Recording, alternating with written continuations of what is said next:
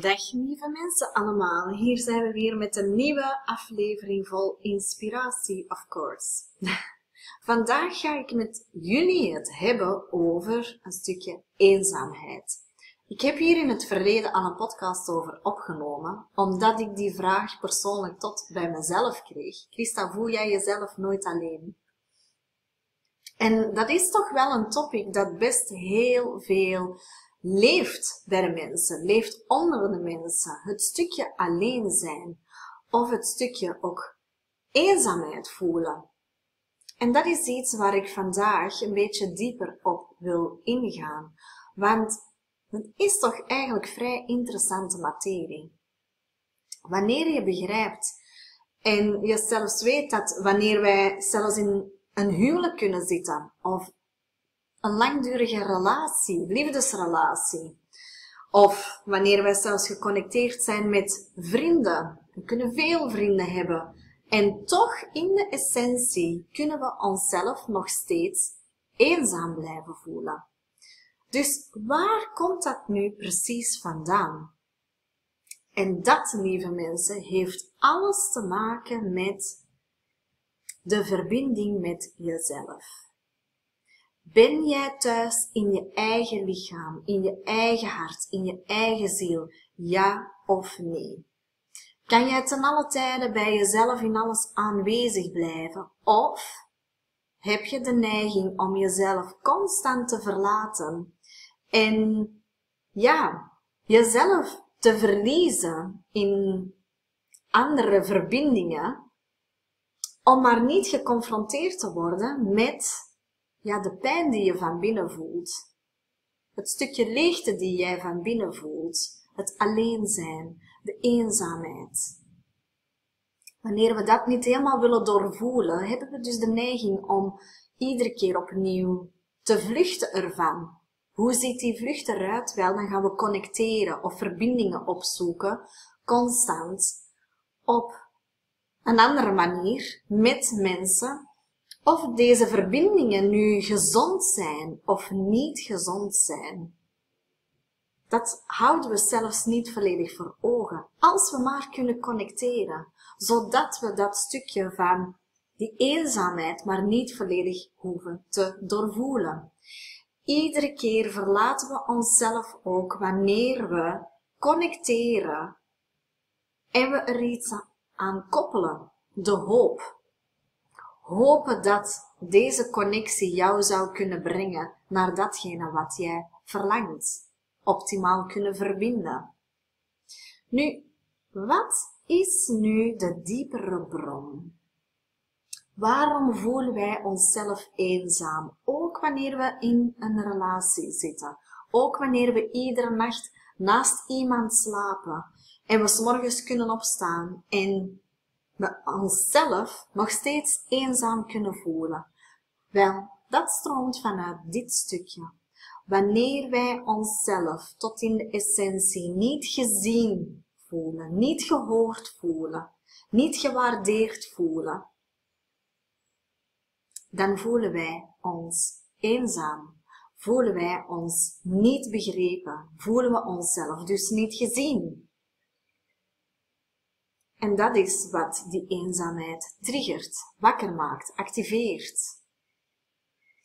En omdat de angst net voor het alleen zijn zo groots aanvoelt, ja, dan kiezen we er soms voor, onbewust of bewust, om toch nog in een connectie te blijven zitten.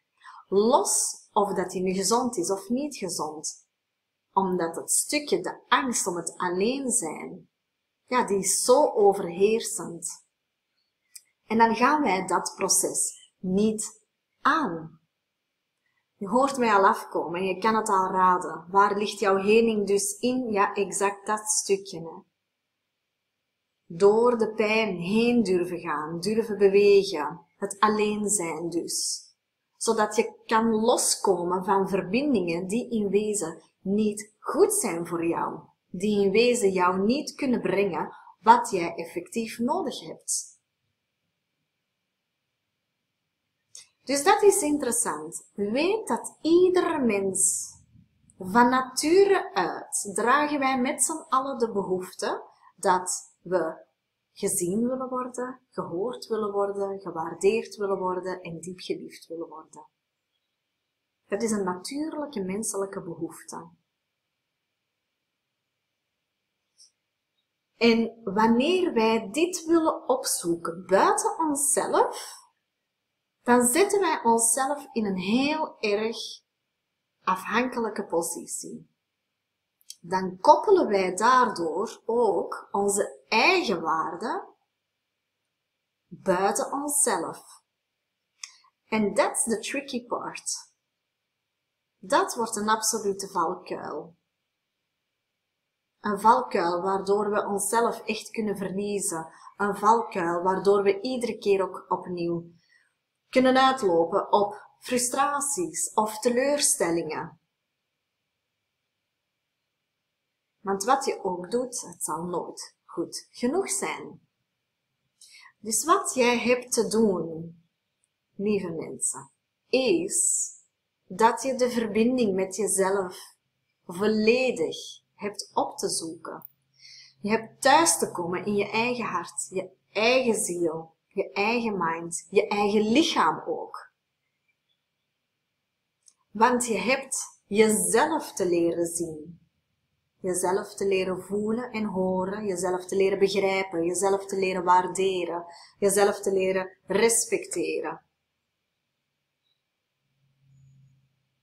Zodat jij in rust kan landen bij jezelf. Dat je oncomfortabel kan worden met het stukje alleen zijn. Dat je daar aanwezig in kan blijven. Dat je er doorheen ademt. Dat je jezelf niet verlaat door jezelf iedere keer te verliezen in allerlei verbindingen, allerlei connecties.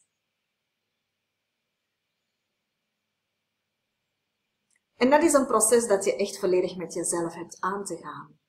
Hoe rustiger en hoe stiller het wordt binnen jezelf, dus hoe minder ruis, hoe minder afleiding. Ja, hoe helder het zal worden binnen jezelf. En ook jouw levensvervulling, jouw dromen, jouw doelen. Waar wil jij voor staan? Wat wil jij brengen? Wat heb jij te doen in dit leven? Hoe stiller het wordt, hoe luider dat die innerlijke roep ook wordt. Hoe duidelijker. Voel ik mijzelf persoonlijk vandaag eenzaam? Nee. Want ik ben in alles thuis bij mezelf. Ik heb geen angst om alleen te zijn, want ik voel mij niet alleen. Ik ben ook niet alleen. Ik ben thuis bij mezelf en ik heb zoveel rond mij heen. Het vervullen van jouw levensmissie, die is voor mij ook heel erg helder, heel duidelijk. Ik weet wat ik hier te brengen heb, wat ik hier te bieden heb, wat ik hier te doen heb. Zowel mijn levensmissie is heel duidelijk, als ook mijn zielsmissie. En dat brengt vervulling. Levensvervulling, levensvoldoening ook. Dus dat brengt ook enorm veel geluk, enorm veel happiness. Enorm veel liefde ook. Liefde voor het zelf. Met de hoofdletter Z. Dat maakt dat wij ons in wezen niet eenzaam kunnen voelen. Want wij hebben een duidelijke richting. Wij weten wat te doen, we hebben een doel, we bewegen ergens naartoe.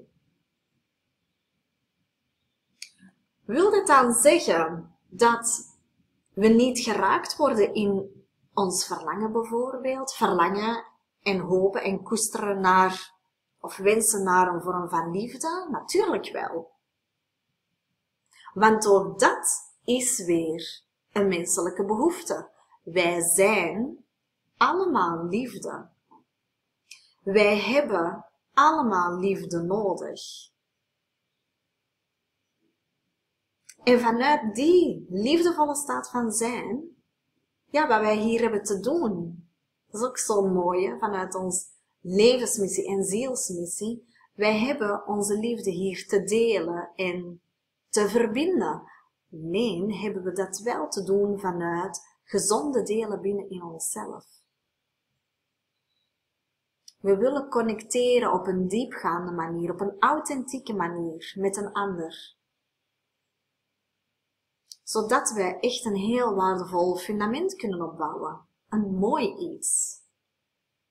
Een gezond iets, een veilig iets. Nou voelen wij ons niet eenzaam meer. Dus hoe goed ken jij jezelf? Dat is waar het iedere keer opnieuw weer op zal neerkomen. De essentie, jouw bron, jouw kern. Hoe goed ken jij jezelf en kan jij te alle tijden in rust bij jezelf aanwezig zijn? Wanneer wij in het leven staan met de overtuiging, ik moet iets fixen binnen mezelf, ik moet iets oplossen binnen mezelf. Wanneer jij met die overtuiging in het leven staat, dan voel jij jezelf eenzaam. Want vanuit jouw onbewuste zijn, dan wijs jij jezelf af. Vanuit die afwijzing ervaren wij eenzaamheid. Ook een heel interessant inzicht dit. Pas vanuit een diepe zelfliefde-activatie ervaren wij innerlijke rust, innerlijke liefde, komen wij thuis.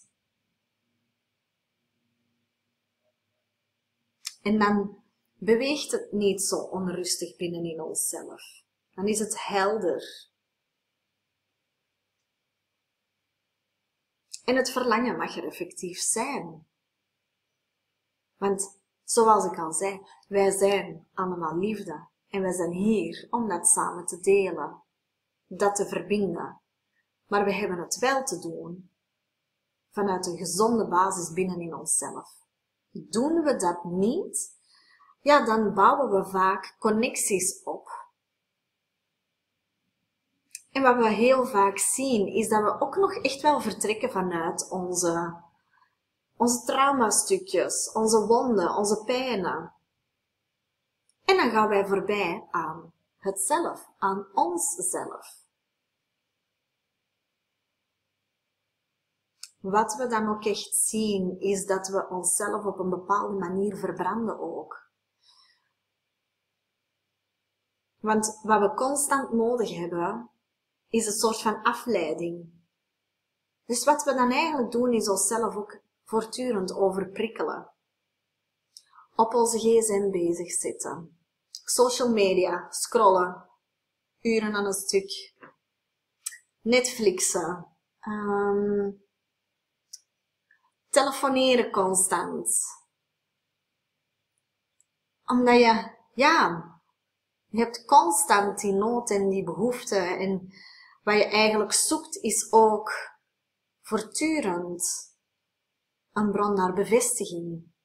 Zie mij, hoor mij. Ik heb jullie nodig. Maar de waarheid is dat je jezelf nodig hebt. In alle rust. Want wanneer jij op dat moment niet kan ontvangen wat jij dan nodig hebt, ja, dan voelen we ons, dat is ook een heel interessante, ofwel in de steek gelaten, voelen we ons niet gezien, niet gehoord, gefrustreerd dus. Zijn we teleurgesteld in de ander? Maar we houden hier wel zelf iets in stand.